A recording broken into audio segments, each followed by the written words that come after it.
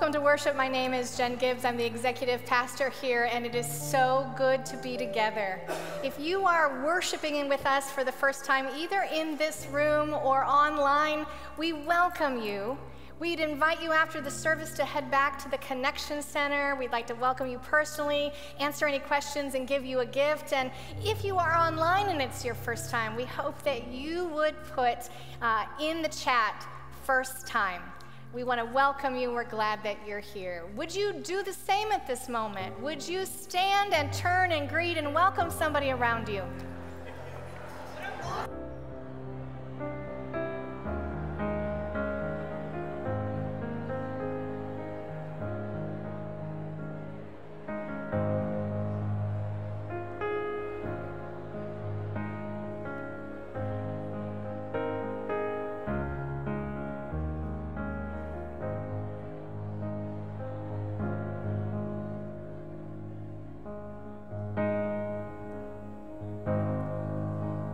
Morning. Let's keep standing.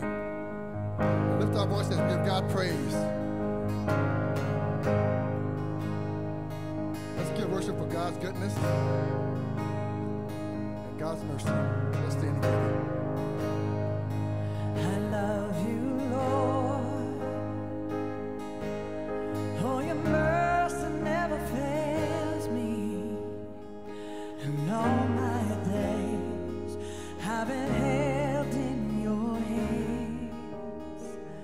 from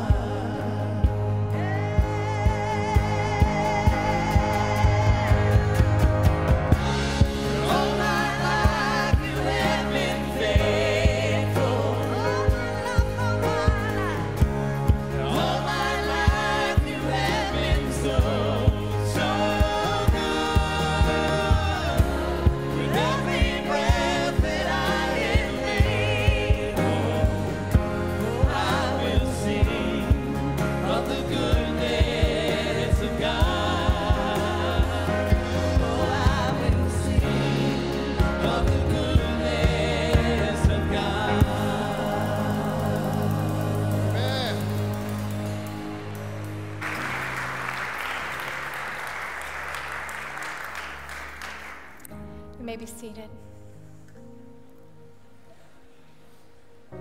Today we observe All Saints' Day and remember those in our church who have passed away this year. It is a time to grieve. It is a time to give thanks. It is a time to remember the legacy we've been given that we may pass it on. You'll see a video playing with names of persons if those persons are in your family or you have known them, we do invite you to stand in honor of their lives and then be seated again. You can do that as many times as those names are known to you. And then at the final slide, if you want to remember anyone you've loved as passed on to glory, we do invite you to stand at that time as well. Pastor Rob and I will be lighting in candles to remember the light of their lives as it's been passed on to us. Let us honor the saints.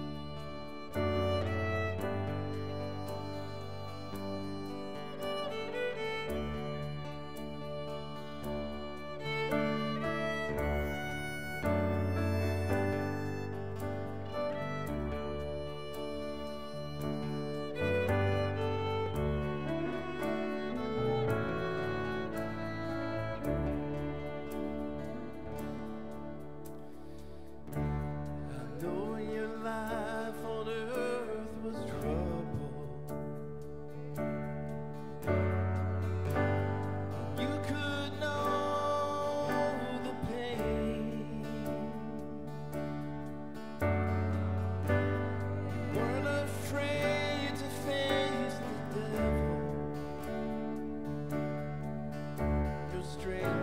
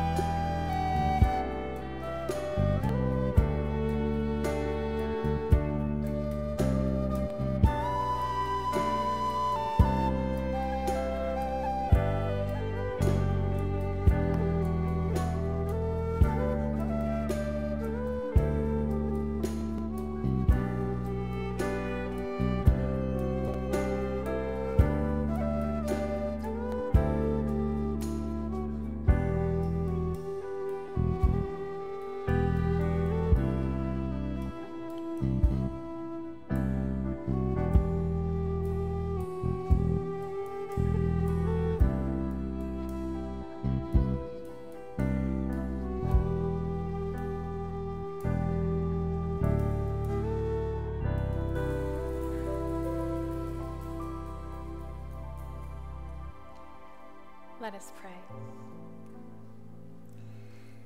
Living God, in whom there is no shadow or change, we give you thanks for the gift of life and life eternal.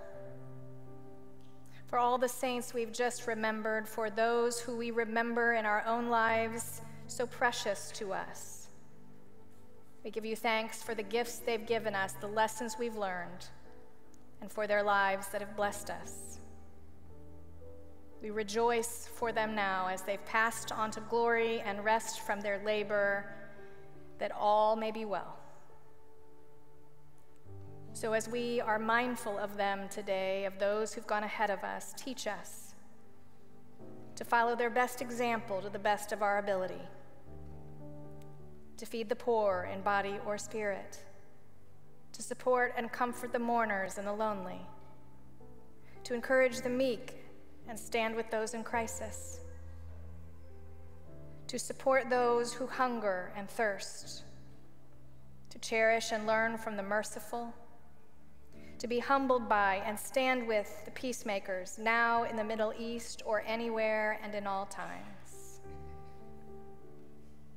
Let us clearly recognize together as a community what it means to be called the children of God and to know we are to be your saints, rooted in faith, and ones who pass it on. We do that not by our own inclination or strength, by simply knowing the call and the healing holiness of Christ Jesus, who meets us and cherishes us and stands with us and walks with us and who is with us now and forevermore. And all God's people said. As we come to this time in our service, we are going to invite the kids to go to their classes. They may meet Sarah, who's in the back, ready to greet them. If you haven't had an opportunity put, to put their tags on them, she can help you there at the back. So if the kids want to go ahead and out, and if you are online with us, take a moment to check out our kids' ministry page on our website. As they make their way, uh, I'm going to invite the ushers to come forward and wait as we prepare for the offering, but know that you make things possible. Last week we had our ministry fair, and, and everything from justice to serving our neighbors in hunger and holiness to grief to, to outreach to growing in faith, all of it was represented And as people head out to the parking lot. A mom grabbed her child by the hand and said, Stop. We've got to go back into the ministry fair we haven't yet signed up to serve.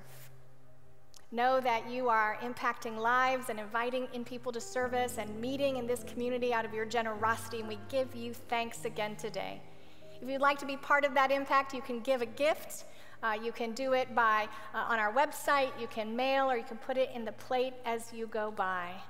We do invite our ushers to come forward and take the offering as we look at what's happening this week at St. Luke's.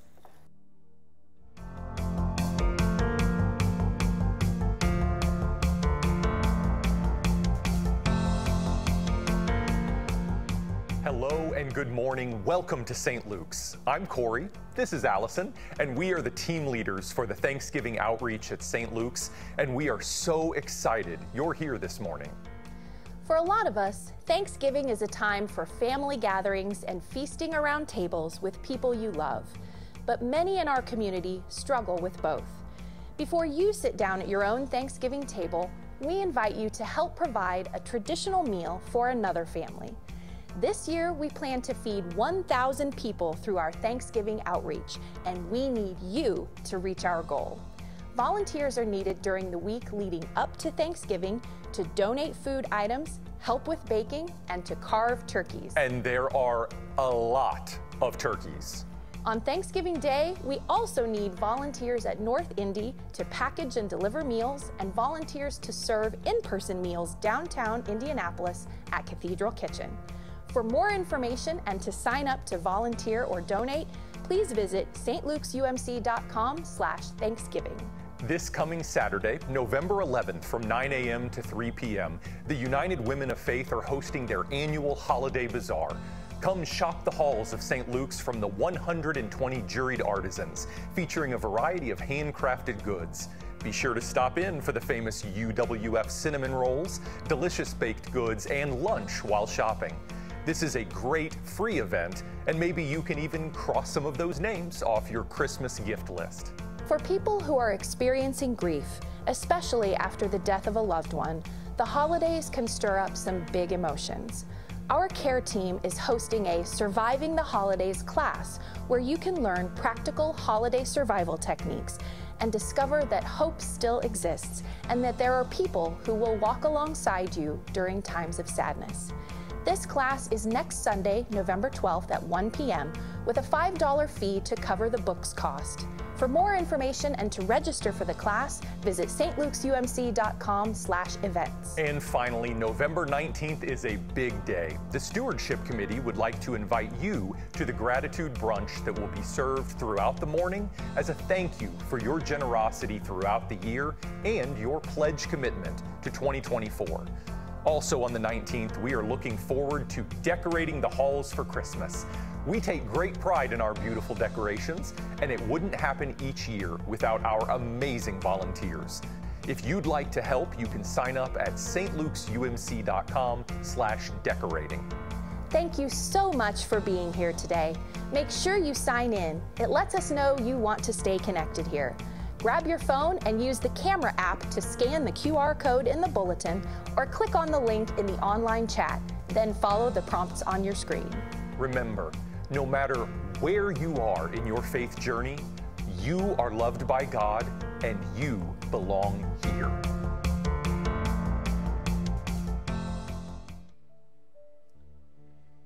Today's scripture is from Colossians chapter 1, verses 9 through 14. For this reason, since the day we heard it, we have not ceased praying for you and asking that you may be filled with the knowledge of God's will in all spiritual wisdom and understanding, so that you may lead lives worthy of the Lord, fully pleasing to Him, as you bear fruit in every good work and as you grow in the knowledge of God. May you be strong with all the strength that comes from His glorious power and may you be prepared to endure everything with patience while joyfully giving thanks to the Father, who has enabled you to share in the inheritance of the saints in the light. He has rescued us from the power of darkness and transferred us into the kingdom of his beloved Son, in whom we have redemption, the forgiveness of sins. The word of God for the people of God. Thanks be to God.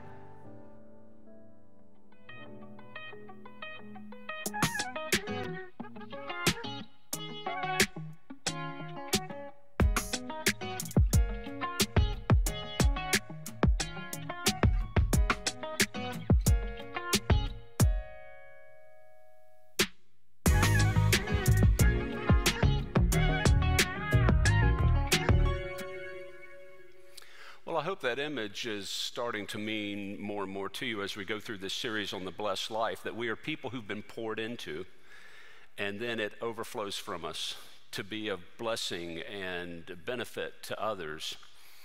As we were preparing for this service today, some weeks ago, and talking about the theme, what it means, uh, Pastor Javon said it reminds him of a television show that ran about four seasons a few years ago called uh, Strange Inheritance. And it was about people who uh, found out after a loved one died that they had a unique kind of inheritance left to them. Sometimes things of, of great value, like rare collector baseball cards. Uh, somebody discovered they had a Stradivarius violin. Uh, someone had a 1913 nickel worth millions of dollars. And the strange part of it, it's not just the items, it's the fact that people discovered that these things were in their homes already and they didn't realize it. And it raises an interesting thought. What if we all believed that right now in our homes, in our lives, are things of tremendous value? Does that give you a greater sense of gratitude about your life right now? Paul would say that it should. Think again about some words he used in the lesson that we heard read just a moment ago. May you have all endurance and patience, joyfully giving thanks to the Father, who has enabled you to share in the inheritance of the saints in the light. Paul says the reason, one of them at least, we have to be thankful about our lives is that every one of us has received a strange inheritance an inheritance of the saints. Just exactly what is he talking about? In the Old Testament, the word inheritance was often associated with land, the land of the promised land, such as the time when the people settled it under Joshua. All of the promised land was apportioned to the 12 tribes, which meant that every family, every person inherited land. They had something to pass on to future generations. Paul uses the word inheritance with more of a spiritual meaning. Instead of talking about land, instead of talking about a, a, worldly possession, he's talking about a spiritual inheritance, and that what we receive from our, our saints, rather than a portion of land, is a portion of God. They literally pass on to us a part of who God is, a portion of God. Now, got to be a little careful here because that does not mean our saints have to be perfect in order to pass on God to us. Our saints were not perfect, they were people. People are imperfect, but God uses imperfect people to communicate and pass on God's presence. We know and experience God through people. So, not everything we inherited from our saints was necessarily great. Maybe you inherited from one of your saints a temperamental spirit. Maybe you inherited a bad habit. Maybe you inherited a critical spirit or judgmentalism. The good news is you don't have to keep it. You can get rid of that part of your inheritance. We don't have a choice as to what we inherit, we have a choice into what we hold on to. This is where that idea of inheritance of land or inheritance of God makes for an important distinction about the way we face life. Because if we, if we focus on the land, if you will, we're really talking about where we are. And that where includes a lot of things. It, it includes what we have in life right now, it includes our relationships, it includes our health, it includes our jobs. And if your where determines your how, your here will never be fully satisfying. Does that make sense? Because our land is transitory, it's temporary, it doesn't last. And at any one point of our here and now, there's something that's not going to be as great as we wish it would be. I mean, our job might be incredible. We might be doing really great at work.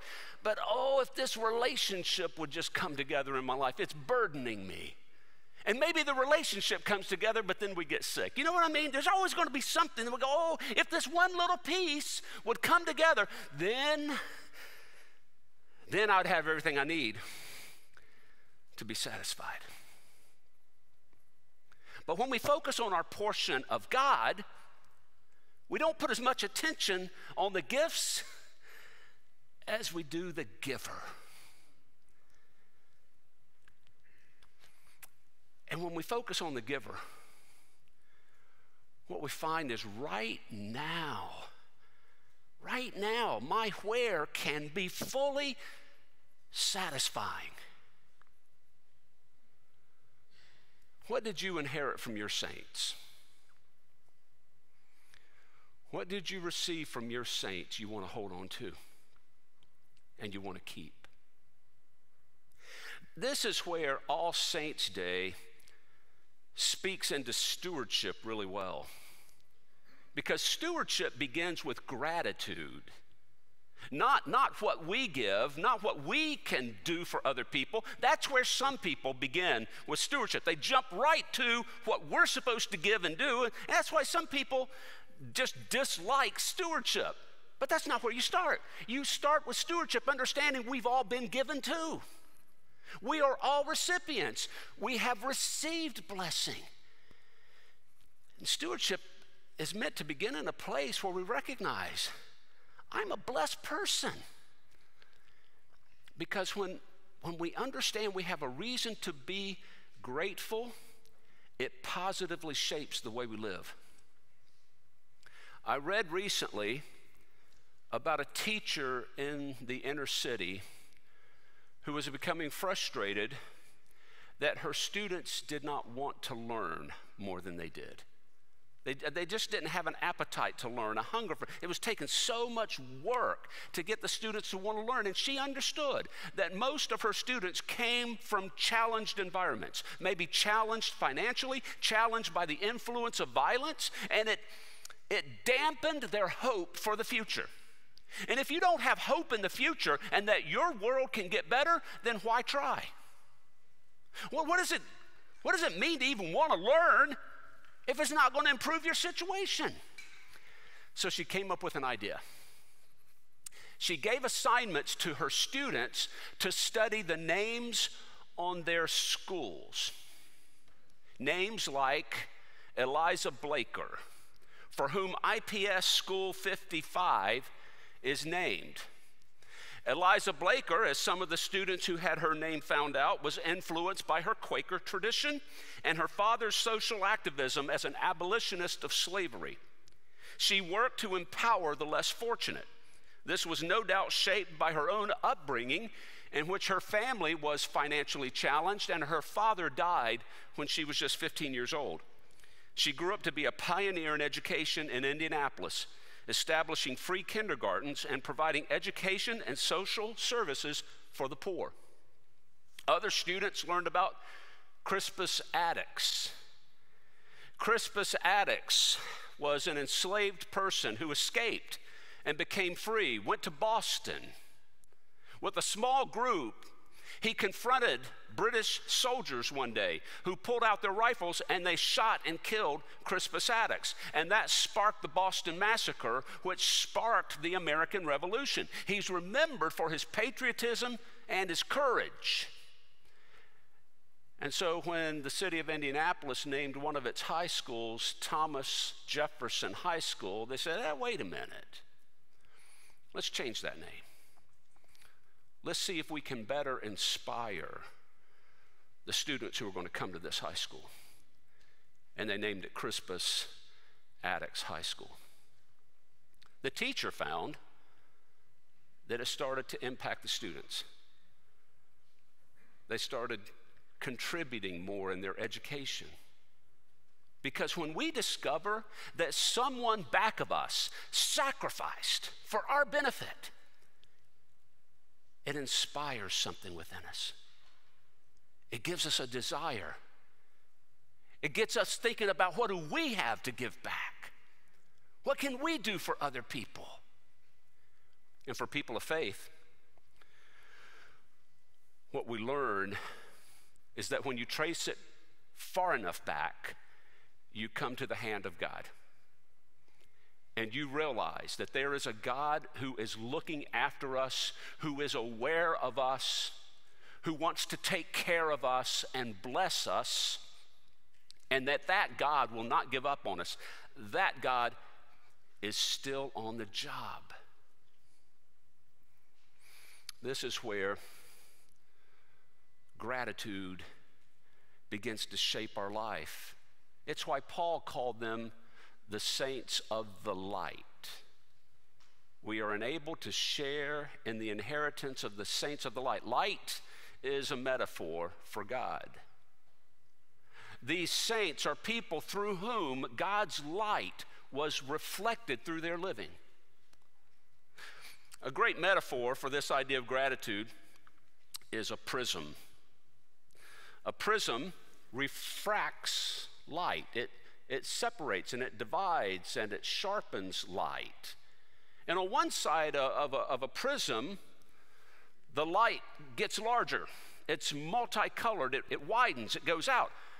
On the other side, it narrows. And so, therefore, things around it are a little bit darker. And a prism becomes a good illustration of what gratitude does for you and me. If we look at life through the lens of gratitude, well, life just gets bigger. It gets more colorful, it gets more beautiful. But when we don't have gratitude, light just gets narrow and things around it get darker. In Kent Millard's book, uh, the, path, the Gratitude Path, he has this wonderful line in it. He writes, What we count, we increase. What we count, we increase. If we count the reasons to be frustrated, disappointed, discouraged, feeling shorted, cheated, well, those feelings are going to increase. And we'll go around looking for reasons to hold on to those feelings, and we'll find them. But if we count blessings, count the good things in our lives, count the unexpected resources that came our way, count the kindnesses that people show to us, then that will increase as well. And we will notice that even more. We will become more aware every day of the reasons for Thanksgiving. Do you ever struggle with discouragement in life? Just getting down? Starting to believe that there really isn't goodness in this world, at least not goodness for you. If you do at all, I want to encourage you to practice a little exercise. Uh, I get a lot of these kinds of little notebooks as gifts, or I get them from organizations, just pages, empty pages, you know. Sometimes they're very nice, they're leather bound. This one came with a pen in it, so it made it really easy. I want you to take one of these and make it your gratitude journal. Try this for a while. Every day, maybe put the date at the top and keep get into a habit of of keeping aware every day of what is something you're thankful for. And it might be several things, no matter how little it is. You know, uh, I looked down and noticed a penny on the ground. Wow, okay, I'll hold on to that. What, what is anything? Anything. You know, somebody called you out of the blue to say, hey, I don't know why, I was just thinking of you. You doing okay? Who knows what it might be? But write down, you know, it's good to know someone cares. It's good to know someone's thinking about me. Whatever it is, write it down, and then every month or so, go read your own journal and see what it does to you. See what it does to your discouragement. See what it does to your frustration. I left from this service last week to drive down to North Carolina. My mom is not doing well. My dad passed away in January, so like many of you, that last slide of standing to remember other people, I stood remembering my dad. Well, my mom's going downhill rapidly this year. Um, so my sister had called me Saturday, and I thought, well, I can get down there real quick after church, and then drove back on Tuesday. As I was driving back Tuesday, I was listening to a Christian radio station, and I think I was in West Virginia. They have a lot of Christian radio in West Virginia, quite a bit. And I was listening to the song uh, 10,000 Reasons. And at the end of the song, the disc jockey came on and she said, um, the song reminded her of a book she read in high school called 10,000 Reasons to Praise Jesus. And she said, that's exactly what the book was. First page, number one reason. Number two reason. Number it went to 10,000. She said if you make it to the end of the book, you're like exhausted, and that's when you learn the author's intent. The author said, if you're kind of weary, then that's sort of the point. That if you've gotten this far, then hopefully by now you understand no matter what's going on in your life, you still have a reason. There's always one more reason to give thanks. And if you go far enough, you realize that our greatest reason for giving thanks is Jesus Christ. Jesus Christ is our greatest inheritance. When you think about this business of inheritance, earthly inheritances are not fair, they're not the same. There are some people who inherit masses of wealth from family or friends, and it is easy to be envious of them. to look at them and go, oh my goodness, well, sure, if I had their inheritance, life would be easy for me too. But I don't know. I don't know. I've known a lot of families who inherited big wealth and they couldn't even talk to each other. They couldn't even be in relationship with each other because of what the wealth did to them over the years. I, I don't know if, if it is something to envy.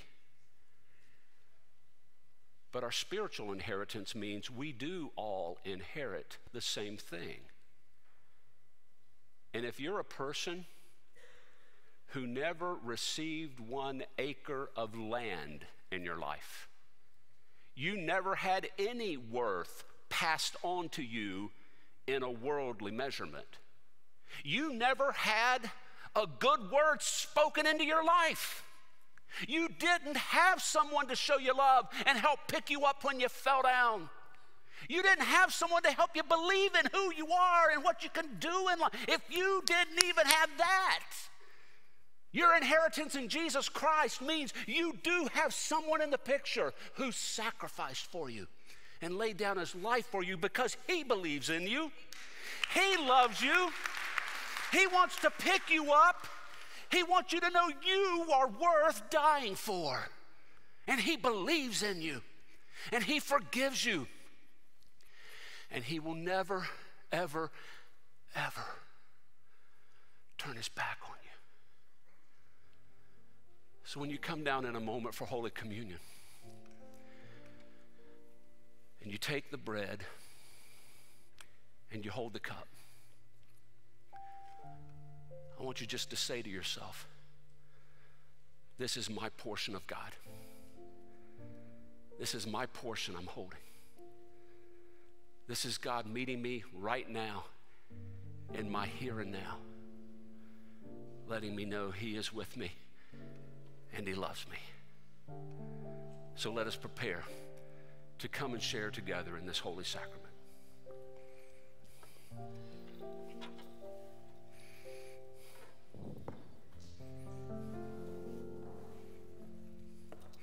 Somewhere.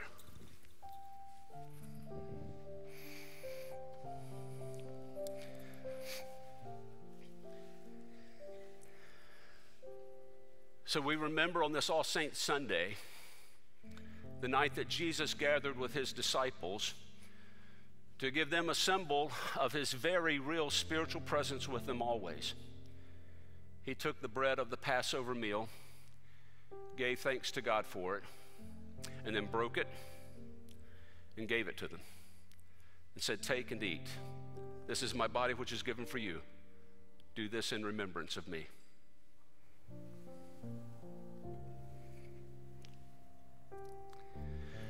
And then after the supper, he took the cup and again returned thanks to God and gave it to them and said, Drink from this, every one of you. For this represents my blood that's poured out for you, for the whole world, for the forgiveness of your sins. Do this as often as you drink it in remembrance of me. Let us pray. Thank you, Lord, for giving yourself to us in the gifts of bread and cup. May they represent to us the portion of yourself you give to every one of us. A portion that maybe we have experienced, that we've been fortunate to experience through our own saints. But even if we haven't, you offer yourself directly to us here and now. Bless these elements that they would be for us the body and the blood of Christ, that we may be for your world the body and blood of Christ demonstrated through love and through action. In his name, amen. As you prepare to come forward today, you don't need to be a member of this church or any church, just come seeking the love of God. In a moment, we will serve the servers, and they will be at the diagonal aisles. Invite you to come up the diagonal aisles, receive the bread and cup, and head back by the sides or the middle. We do invite you today to hold the bread and cup, and then at the end, Pastor Rob will invite you to receive those and then provide a blessing of benediction. And so we will serve, and as soon as the servers are ready, the ushers will come dismiss you to receive your portion of God, this gift of grace.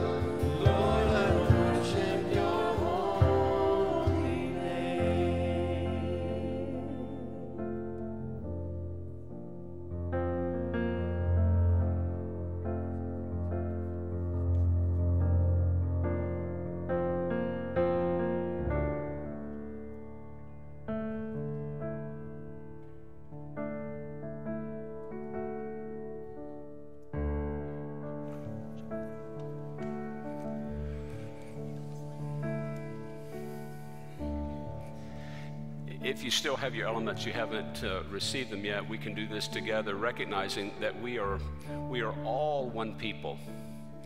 We receive the same inheritance in Christ, not one before the other, not any too insignificant, all equally important, equally valued. Together, let's receive the body and the blood of Christ.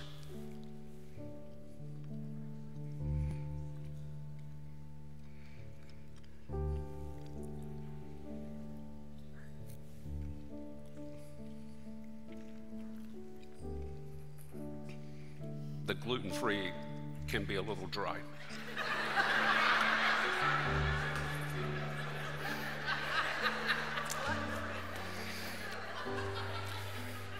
Let us stand.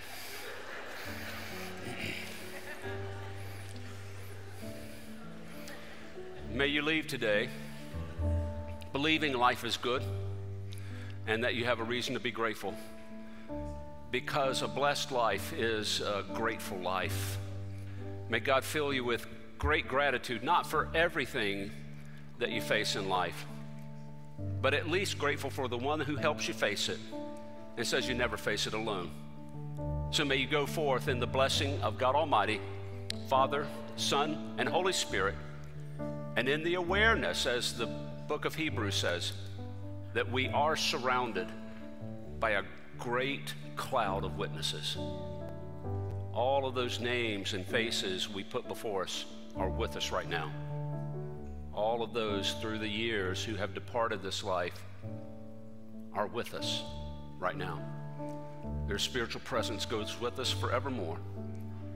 After we leave, if you would like a moment of prayer, Pastor Jen is going to be down here, and you may just appreciate her praying with you about something going on in your life. Take advantage of that before you go home this day and know that God goes with us. Amen.